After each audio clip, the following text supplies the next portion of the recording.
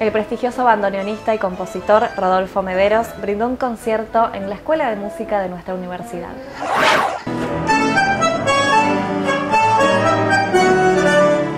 Este concierto se realizó en el marco del seminario taller que Mederos estuvo dictando durante dos días para los alumnos de esta escuela.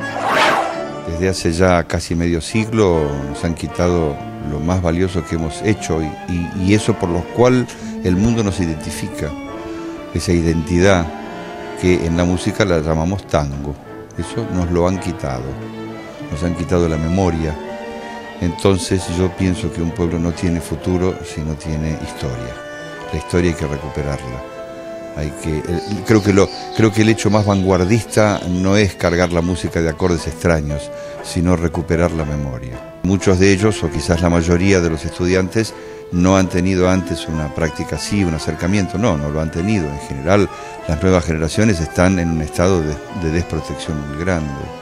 Entonces, creo que lo, lo, menos que nos corresponde a nosotros, que hemos tenido el privilegio de vivir aquella historia, es trasladarles a ellos algo de la experiencia.